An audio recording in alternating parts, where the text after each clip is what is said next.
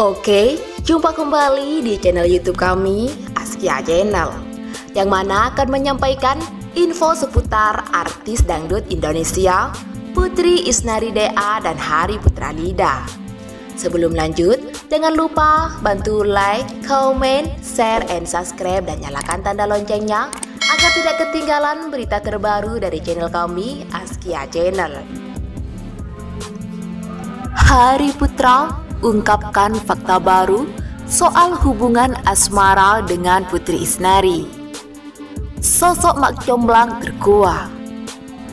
Bukan warga net, ternyata ini fakta sosok Mak Comblang yang akhirnya membuat Hari Putra bisa dekat hingga jatuh hati kepada Putri Isnari.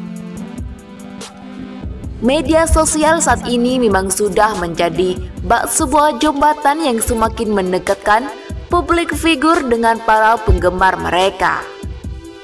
Bahkan, banyak juga tren yang bermunculan di media sosial, salah satunya yakni kehebohan fans dalam menjodoh-jodohkan artis kesukaan. Nasib ini yang juga sempat ramai terjadi pada pedangdut jebolan Liga Dangdut Lida yaitu Hari Putra dan pedangdut jebolan Dangdut Akademi musim keempat yaitu Putri Isnari. Sejak kemunculan keduanya dalam sebuah kolaborasi vlog, warganet yang baper gencar menjodohkan mereka. Hingga akhirnya, Hari Putra ini benar-benar jadian membuat publik sontak heboh bukan main. Namun baru-baru ini Hari Putra justru mengungkapkan fakta baru perihal hubungan asmaranya dengan Putri Isnari. Bukan warganet, Hari Putra justru merasa dijodohkan oleh orang terdekat. Sosok Dewi Persiklah yang ternyata menjadi mak combla. Tapi memang benar lo tuh jadi ama putri dijodohin sama netizen. Atau emang lo sebelumnya pernah ketemu atau apa jalan bareng? Tanya Arman Maulana di kanal YouTube miliknya. Enggak, aku nggak pernah ketemu. Tapi yang jodohin bukan netizen, tapi Dewi Persik. Jawab Hari Putra.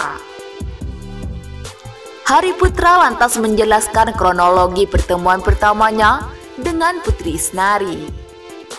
Ia menyebut bahwa pertemuan pertama tersebut terjadi sebelum keduanya berkolaborasi vlog bersama. Dia ngenalin waktu itu di kantor kita.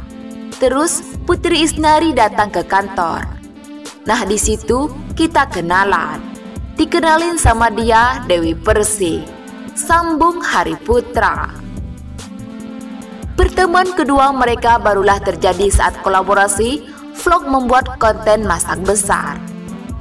Rupanya kedekatan mereka berlanjut hingga akhirnya benar-benar jadian. Selama perjalanan PDKT itulah Hari Putra mendapatkan banyak dukungan dari netizen. Nah, selama perjalanan itu didukung sama netizen terus. Jadi ada yang ngawal, ada yang selalu support tandas Hari Putra. Pada kesempatan yang sama, Hari juga mengungkapkan perasaan bahagianya kini jadian dengan Putri Isnari.